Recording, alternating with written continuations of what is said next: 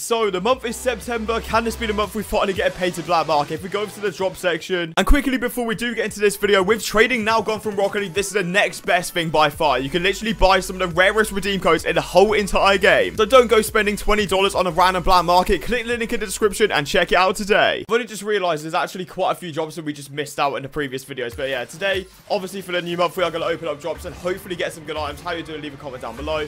It's a shame because every single time before this, I would open up 40 crates, but the fact that we're running extremely low on crates right now is all it means that I can actually do, only do a 20 opening. I'm very, very sorry, but maybe that's all we need to get a good painted exotic or get ourselves a cheeky little black market. We'll have to wait and see. But yeah, in the Rocket League scene right now, obviously, it's a good time for it to be a new month because, yeah, we've got a new season just around the corner. Pretty sure in three days' time. So no idea when this video is actually going to get posted because I'm pretty sure there's going to be brand new trailers and stuff like that. So maybe this gets set back until, I don't even know, until, okay, we get regular wealth. We can use it on Fortnite. Don't care at all. But maybe we can upload this video a little bit later on in September. I'll have to wait and see what goes on. Because uh, there's going to be quite a lot of content to obviously upload as soon as the new season drops. Hopefully, there's going to be some good items that we can actually sort of like grasp on straight away.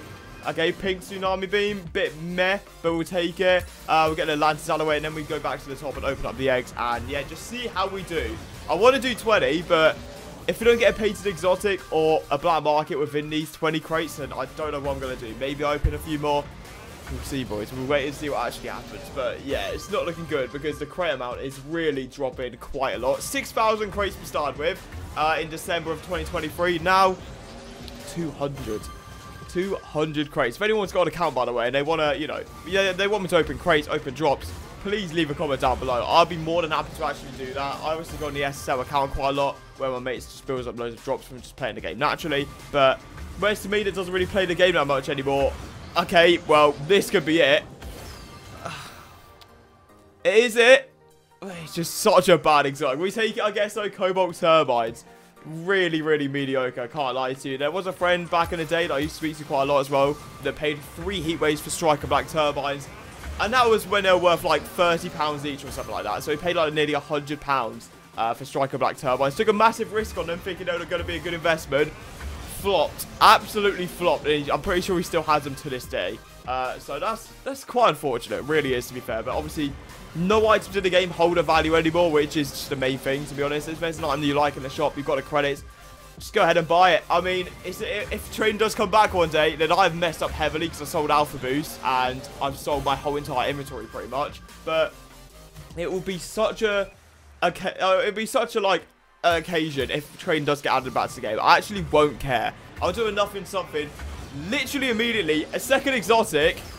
Why do I get the most dead exotics imaginable? Burst the ARAs. Okay, I mean, two painted exotics definitely isn't bad. Good for the trade-up section when we actually go to it. So maybe September's going to be the month. Maybe, you know, pre-recording this before the new season. Maybe season 16 is going to be absolute fire. They bring back trading. Whole community comes back.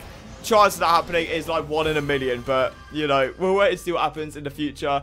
And hopefully it's a good season because 13 was atrocious. 14 was like meh. 15 was like between atrocious and meh, so like in the middle. And hopefully this one at least is going to be decent. At least matching season 14. I've got high hopes because the trailer does look quite good.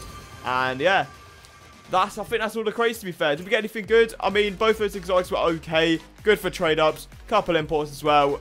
You know, as it goes for drop openings in 2024 not the worst in the world. But of course, make sure to subscribe for more daily Rocket League content. And yeah, guess I'll see you tomorrow.